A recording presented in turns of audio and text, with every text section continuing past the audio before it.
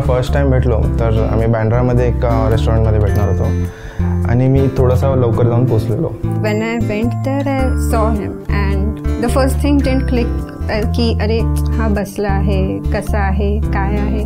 हे सगळ्यांना विचार करता माझ्या डोक्यात हे झालं की इथून जर मी गेले थोड्या वेळ फ्रेश व्हायला आणि दहा मिनटं नाही आले तर हे the look on his face the panic would be priceless घड़ी घड़ी ये हसीन रात है है शाम का असर ये। या तुम्हारे आने की बात है है बहुत सी बातें कहने को।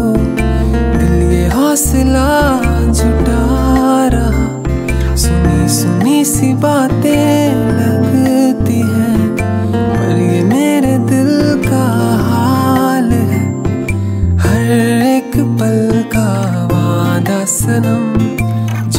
तेरे संग मैं बिताऊँगा।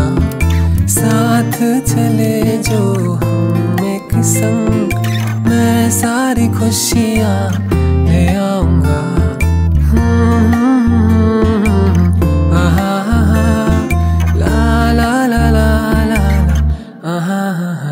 असे जेव्हा मी रोहित बरोबर बोलायला सुरू केलं तेव्हा I never felt that I am talking to someone I am going to get married to it was more like me एका फ्रेंडशी बोलते असा एक मुवमेंट होता जेव्हा मी तिला सेकंड टाइमच भेटायला गेलेलो. तिने आय थिंक पिंक कलरचा टॉप घातलेला आणि त्यावेळी ती अशी बोलताना आणि तिचे स्माईल म्हणजे आम्ही जेव्हा हसत होतो ते त्यावेळी मी तिच्याशी बोलतानाच मला एक बॅक ऑफ द माइंड असं आलं की अरे किती मस्त एन्जॉय करतो आणि किती म्हणजे क्यूट आहे आणि असं सगळं. ते अचानक मला पहिल्यांदा किती वर्षानंतर असं फील झालं.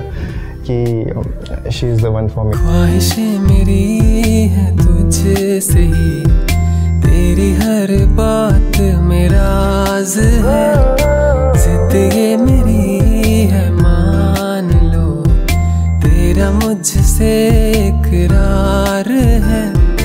है बहुत सी बातें कहने को। दिल ये हौसला जुटा रहा। सुनी सुनी सी बातें लगती हैं, पर ये मेरे दिल का हाल है। हर एक पल का वादा सनम, जो तेरे संग बिताऊँगा। साथ चले जो हम एक संग मैं सारी खुशियाँ ले इन पर्सनल लाईफ असं काइंड ऑफ स्टॅग्नन्सी होती. ती आता एक नवीन फेज झाला. Obviously up ups and downs असणारच लाईफमध्ये अप्स तर आपण एन्जॉय करणारच आणि डाऊन्समध्ये आपण एकामेकांना सांभाळून घेऊ. मी खूप जास्त एक्सायटेड आहे या फेजसाठी आणि आय होप तू पण तेवढीच एक्सायटेड आहेस. I love you